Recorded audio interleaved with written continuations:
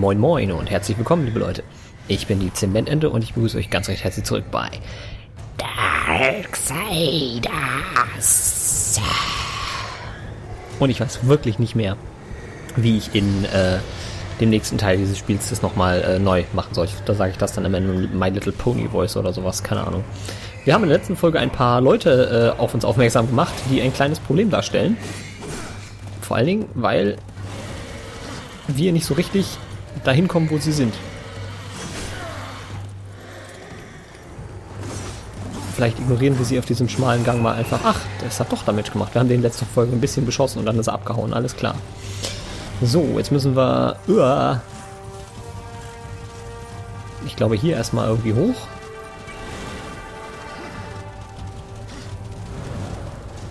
Da drauf. Denn hier erwartet noch irgendwo ein Artefakt auf uns. Das wir natürlich haben wollen. Oh, guck mal, da sind auch ganz viele von diesen Kletterdingern, die wir vorher noch nicht benutzen konnten. Hep, hep, hep, erstmal Artefakt. Ah ja, das ist ein kleines, das macht nichts. Davon fehlen uns noch zwei, also jetzt noch eins. Äh, jetzt müssen wir wieder ins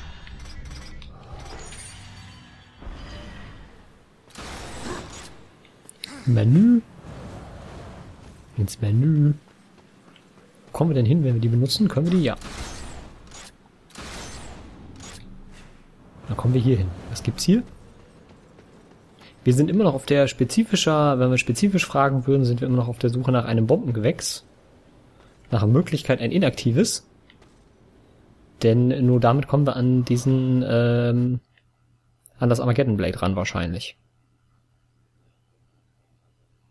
Aber es kann eigentlich nicht, also ich kann mir nicht vorstellen, dass die Designer das so ewig weit weg vom eigentlichen Punkt anbringen würden. Das ist das. Aber wir haben uns in der letzten, oder ich habe mich in der letzten Folge für euch dazu entschieden, dass wir erst im Schnell das Artefakt und die Kiste einsammeln, die wir da gesehen haben. Uh, just because we can. Oh, hier ist noch eine Schatzkiste ganz oben auf dem Turm. Sogar auf dem Turm, wo wir gerade sind, ne? Ja, dann äh, gehen wir doch nochmal zurück und gucken uns die auch nochmal an. Ah, ich ahne, wie ich da hätte hinkommen können. Wahrscheinlich komme ich von hier gar nicht ganz oben auf den Turm drauf, oder? Aber wir gucken mal. Mal hier. Dann hier noch weiter nach oben. Ach, guck, das... Ah! Das war genau das, was ich vorhatte. Mhm. Äh, dann hier dran. Hip. Und... Hip. Und äh, hier muss ich kurz runter. Das darf ich nicht mehr bedienen, das ist natürlich sehr schön. Dann kommen wir von hier tatsächlich wohl nicht mehr da oben hoch. Hua! Dann nochmal mit dem Pony da hinten hin, wo ich hin gerade war und von da nochmal versuchen, den, den Turm von oben zu erklimmen. Wie komme ich hier wieder raus? Komme ich hier wieder raus? Okay, wahrscheinlich wirklich nur hier, ne?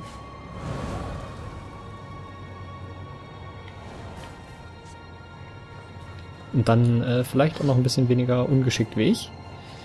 Äh. Hua.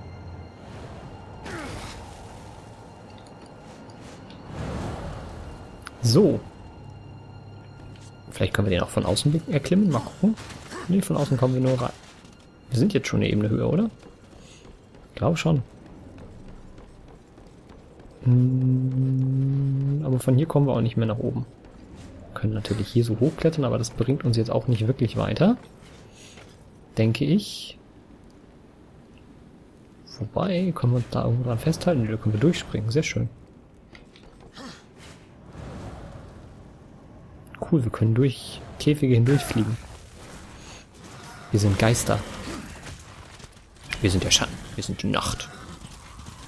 Dann probieren wir das doch nochmal von dieser Location aus wo wir das letzte Mal schon waren, haben wir den noch equipped? Ja, haben wir noch. Dann könnte das natürlich dazu dienen, dass wir da hochkommen. Dann gibt es da oben vielleicht ja sogar eine sinnvolle Kiste und nicht eine, die wir einfach nur übersehen haben. Ja, Mensch. Zack. Zack. So.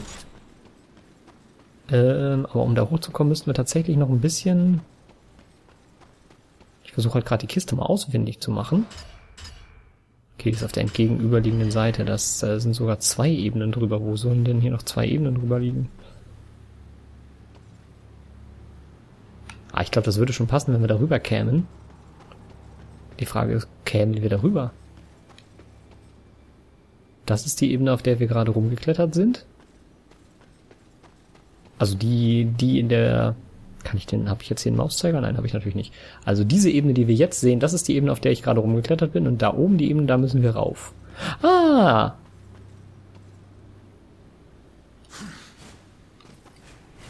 Aha.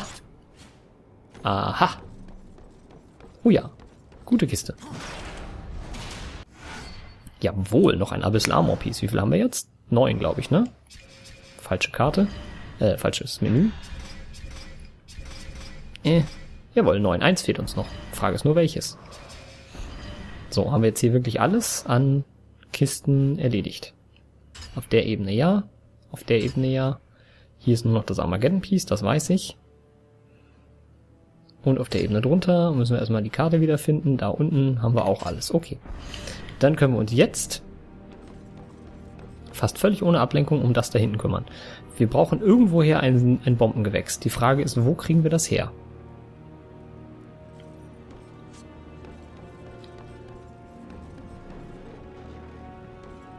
Da ist ein Reiter. Reiter. Wo kriegen wir diese Bombendinger her? Oh, habt ihr das gesehen, wie ich auf dem Pferd gelandet bin? Alter, voll die Moves. Kann man hier irgendwo rein und sowas holen vielleicht? Nee, hier sind einfach nur äh, Sachen. Das ist ja jetzt spannend. Ich meine, die werden das doch nicht meilenweit von dem Ding entfernt platziert haben, oder? Das wäre ja aus verschiedenen Gründen extrem blöd.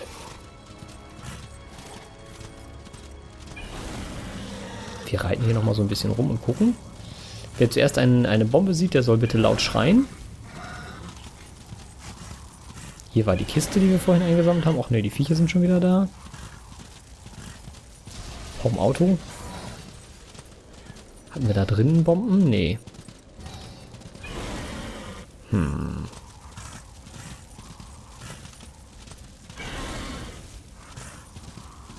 Tja, liebes Spiel, jetzt bin ich ein bisschen überfragt, wo du mir hier so Bomben präsentieren würdest. Vielleicht in einem der Türme, bestimmt in einem der Türme hatten wir Bomben, daran erinnere ich mich dunkel.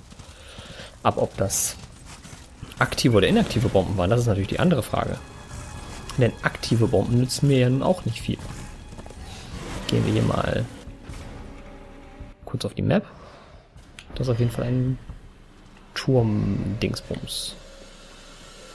Bumsdings. Wo sind wir eigentlich gerade in den Aschlanden? Okay. Bomben? Hier gibt es nur diese Typen mit den Kanonen gab es hier. Ne, hier geht's wieder raus, das wollen wir nicht. Wir wollen nochmal zu den Türmen zurück. Bei irgendwelchen dieser Türmen gab es Bomben, das weiß ich noch. Die Florges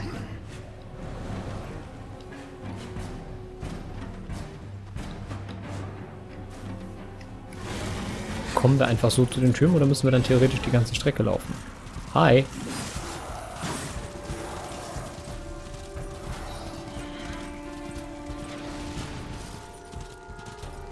Da müssen wir dahin. Da können wir nur da rüberspringen. Das heißt, wir müssen hier den Anfang von finden.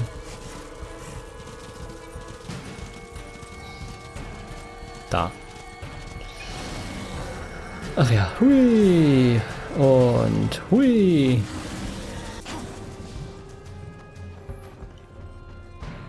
So. Ich habe abgekürzt. Habt ihr gesehen?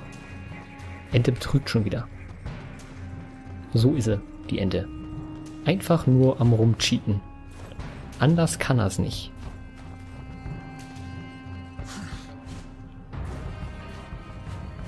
Uah, uah.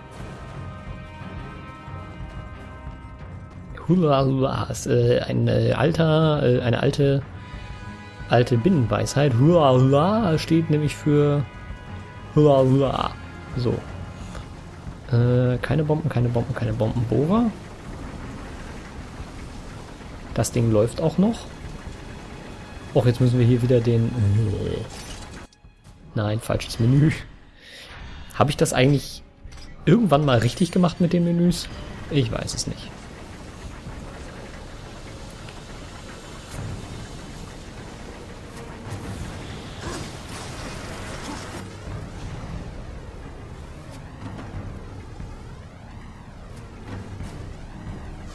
Ist die Kameraführung echt ein bisschen blöde. Muss man mal so sagen. Ich meine, sie gibt sich Mühe, tatsächlich zumindest alles zu, äh, einzufangen, was man so sieht.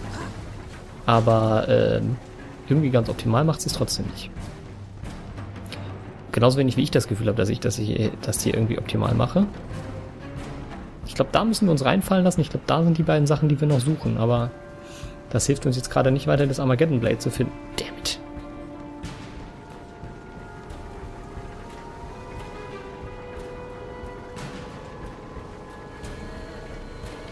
Erstmal hier nochmal rein. Ich war jetzt gerade überlegen, ob ich jetzt schon mal da unten reingehe. Ich meine, da habe ich nämlich beim Runterfallen aus einem dieser Türme habe ich ja mal was liegen lassen, weil ich mich rankam. Und das war unter anderem ein Artefakt. Das müsste dann entweder das letzte Soldatenartefakt oder das ganz große Artefakt sein, das uns noch fehlt. Aber hier ist einfach auch nirgendwo ein Bombengewächs. Wie soll ich denn da an ein Bombengewächs rankommen? Ich kann mich darüber schwingen, aber da sehe ich auch... Da sehe ich ein Bombengewächs, aber ich weiß nicht, ob es an ist. Finden wir es raus. Und dann müssen wir echt mit dem Bombengewächs quer über die Karte dahin laufen. Oh je. So, wir müssen eine Etage da drunter. Das hat geklappt. Das ist ein entzündetes Bombengewächs, oder? Da komme ich nicht rein. Ich muss doch da rein. Warte, wir finden das mal raus. Yep. Das heißt, das können wir nicht mitnehmen. Ja, superb. Und dann? Liebes Schabül, wie soll ich dann da hinten und so? Ich weiß es nicht. Und wie komme ich jetzt wieder zurück? So. Okay, das geht. Na gut. Ähm, der Timer sagt, wir haben noch ein bisschen, dann gehen wir erstmal hier unten rein und gucken. So, seht ihr, da ist nämlich dieses Artefakt. Oh, das sieht aus wie ein ganz großes. Wie komme ich da denn hin? Gucken.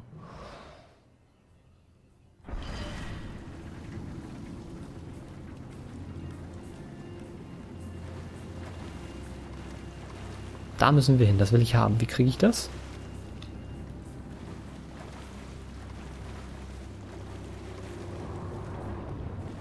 Vielleicht indem ich da von hinten irgendwie mit einer Portal Gun Nummer oder sowas was mache. Wieso komme ich hier nicht raus? Ah. Okay. An die Gegend erinnere ich mich.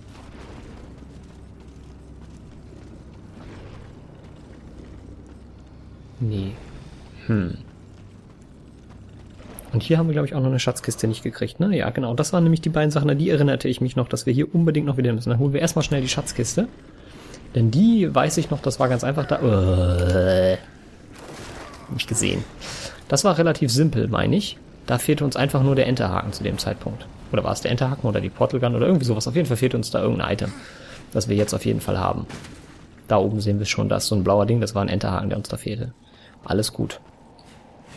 Was gibt's denn da Geiles eigentlich? Mal schauen. Zack. Einmal rübergeschwungen.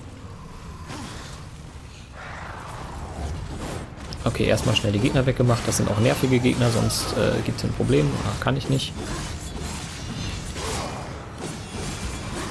Aua. Einmal den. Die beiden nerven nämlich sonst nur. Au. Das ist immer das Problem, wenn man seine Combo ganz durchzieht, dann hat man ein Problem. Dann hat man nämlich einen Moment, in dem man wenig machen kann und äh, das ist dann äh, ziemlich ätzend. Ja, ja, ist ja gut jetzt kleiner. Lass mal äh, gut sein. So. Nur, äh, ja. Au, au, au. Und zack. Ich bin doch gespannt, was in dieser Kiste drin ist. Jetzt lass mich noch. Ist da das letzte Stück ein bisschen Armor drin? Das wäre geil. Dann hätten wir die Rüstung fertig. Da hätte ich volle drauf. Plupp. Och nö. Nein, Strife's Offering. Aha. Aha. Okay. Das heißt jetzt, äh, wenn wir das Ding benutzen, das wird so ein Upgrade, so ein, so ein ähm, Waffentuning-Ding sein. Dann äh, erhöhen wir ganz besonders äh, stark äh, unsere Effektivität im Fernkampf. Ob das für den Bumerang und oder nur die Pistole gilt, weiß ich nicht. Aber die Pistole hat es auch nötig. Denn die macht ja so wenig Damage. Äh, was? Der kann sich das B wegschütteln? Das ist ja nicht. Dachte, ich könnte mich hinter der Kiste vernünftig verstecken. Danke. Erstmal das erste B. Hallo, da stand doch gerade wieder B. Wieso war das sofort wieder weg? Okay, man kann die auch einfach so besiegen. Gut zu wissen. So, dann können wir uns jetzt das Ding mal angucken. Äh, falsches Menü. Da ist es. Ah, da steht's bei. Erhöht den Schaden der Waffe. Kriegen wir Zorn, wenn wir Schaden machen, äh, wenn wir es töten. Kriegen wir Chaos, wenn wir es töten macht dramatischen Erhöhung von Wurf- oder Schusswaffen und erhöht unsere Verteidigung gegen Schuss- und Wurfwaffen. Ah, steht das hier auch so genau drauf? Ah. Aha. Also erhöht massiv den Schaden der Waffe, ähm, macht Waffenschaden dazu, dass er Leben zieht, erhöht den, die Menge an Seelen, die wir kriegen, und wir kriegen noch mehr Seelen, wenn wir es der Sense geben. Aha.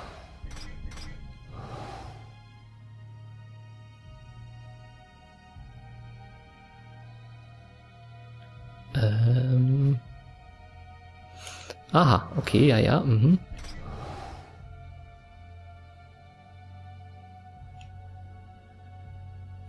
Okay, äh, jetzt weiß ich natürlich überhaupt nicht, was ich nehmen will.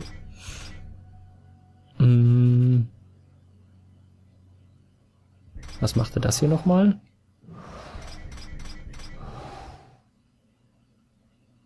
Äh, okay.